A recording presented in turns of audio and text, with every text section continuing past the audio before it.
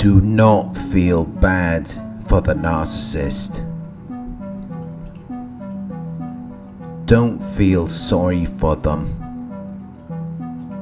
Because you're dealing with someone who is negative and unhelpful. Someone who is pessimistic and defeatist. Someone who is trying to cancel you out and render you ineffective. So they are a danger to themselves and everyone around them. Because they're not even considering the results or effects of their actions. They don't care about the consequences. Which makes them very dangerous. Because when you're dealing with someone like that, they will end up damaging you. They will end up destroying every aspect of your life because they're damaging and destructive. And by their actions, you may assume that they're just undergoing a difficult experience. But so are a lot of people. What they're doing is a conscious and deliberate choice. They know the difference between right and wrong. Although they may often interpret things differently and come to different conclusions, they still understand the effects of what they're doing. They know when it's causing you pain. They know when it's harming you, and that's when they'll take it up a notch because they want to bother and trouble you. They want to make you suffer and cause distress to you.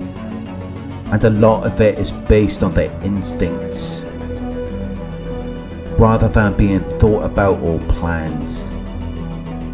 As though this is what they were destined to do, as though it was preordained. But you shouldn't try to help them because in the end they're just going to end up hurting you. It doesn't mean that you have to be ruthless. It doesn't mean that you have to be cruel and heartless. As far as we know, they're still human beings. But you need to recognize that they're not concerned about your health or well being. They don't have your best interest in mind.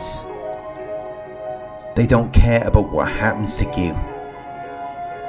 So if you try to help them, you're the one who is going to end up hurt in the end.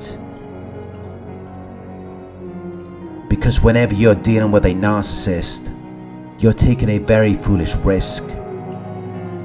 Because they will always cheat you. They will always leave you in an unfair situation because they don't care about how you feel. Your feelings don't mean anything to a narcissist, and there's nothing you can do to change that. There is no different way you could have said or done something, it wouldn't have made a difference. It wouldn't have changed anything. Because as soon as they find someone who is more susceptible, they will forget all about you and you will always be the one who is left thinking about them. While they've moved on with another person. And they're not even thinking about you. They don't care. You were just a pit stop. A stop for servicing and refueling. A brief rest during their journey. And then they kept it moving. Because their only concern is where they're going next. They're not thinking about where they just left so they're not thinking about you unless they have no other choice. And yet you're experiencing grief or dread, and you're wondering about what they're doing and who they're with, when they're not even concerned about you.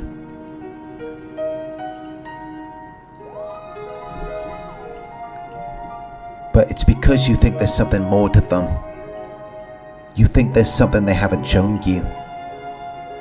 You think there's some missing piece to the puzzle as though there's some deeper meaning to what they're doing, which you can attach to and then it will all make sense. You think there will be something that will benefit you, something that will help you. when there isn't. Because they will forget about you very quickly. And then they will move on to their next target. They will manipulate the next person just as they did with you. But it's difficult for you to let go. Because you were given a false image. They made you believe that they were interested in you, as though they wanted to build something with you. But they only did that to lock you under their control. It wasn't real. And yet many of you still believe in them, even after they reacted with opposing opinions and actions, and tried to make you ineffective at what you were trying to achieve.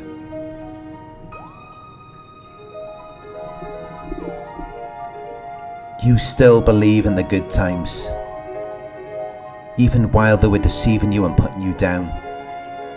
You still want to believe that they love you. You want to believe that they're emotionally connected to you, which only creates a problem for you. It doesn't affect them because they don't feel the way you feel. It means nothing to them. They don't care. They don't respect you. When someone truly cares and respects another person, they will go out of their way to not cause a disturbance or problem because they don't want to damage the relationship or connection which is based upon shared feelings, interests, and experiences. But even if you hold a difference of opinion, they will still hold back. They will still refrain themselves because they want to show courtesy They don't want to hurt or disrespect the relationship that you have. But you don't get that from narcissists because they don't care about anything. They lack passion and purpose. So they don't care about how you feel. Which is why they will say and do whatever they choose to because they have no concern. And they were never with you in the first place they never extended themselves beyond their own interests and needs. Because they have an inability to do that, they can't see you as a separate person. You're just an object to them, and they pacified you by acceding to your demands. Keep you calm and quiet so that they could get what they want. Which is how it was so easy for them to move on because they were never really involved. They never intended on being a benefit to you or on doing anything to support you outside of their own agenda. Everything they do is for the sake of their own advantage, so that they can reap the rewards. So even though they may have been with you, that's all that it was. which is why as soon as they see that they can benefit somewhere else, their act is over and their fake feelings of being nice and contented with you will end. Because they already know they're not going to be any good for you. They know that in the long run they couldn't give you anything that you're seeking. Because they were never that person. They were never that character that they led you to believe. But they've tricked you. They've got you to fall for their game.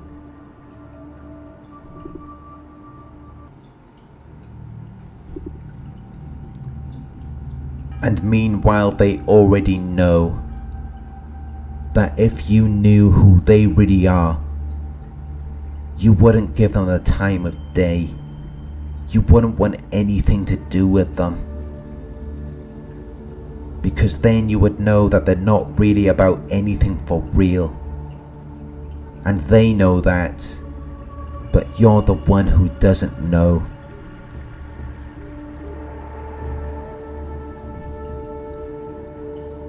Which is why you remain with them even though it may be difficult and unpleasant. Because you don't know the other side of it. They never cared about how you felt. They mistreated you. Even while you were doing everything that they wanted you to do. Which shows that they were never connected to you. They never had any intention of building anything with you because they never cared about you. Which is why the treatment never matched with who they're claiming to be. And it's really a situation where success is not possible.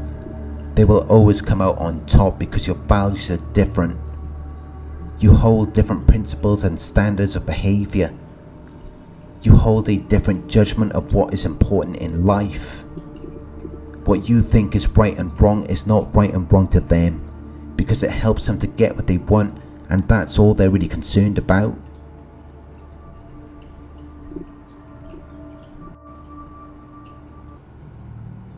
They're not concerned about the future. They're not concerned about how things will pan out. All they care about is what they want right now. So you can never win.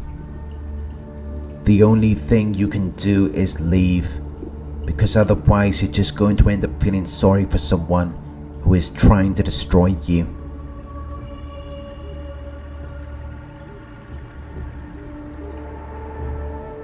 Thank you for watching. If you found this video helpful, please give it a thumbs up. Share your thoughts in the comment section.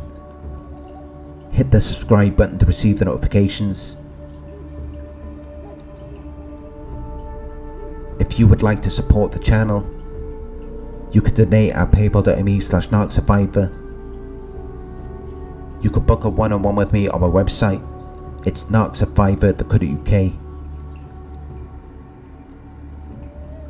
Thank you for watching and I'll talk to you soon.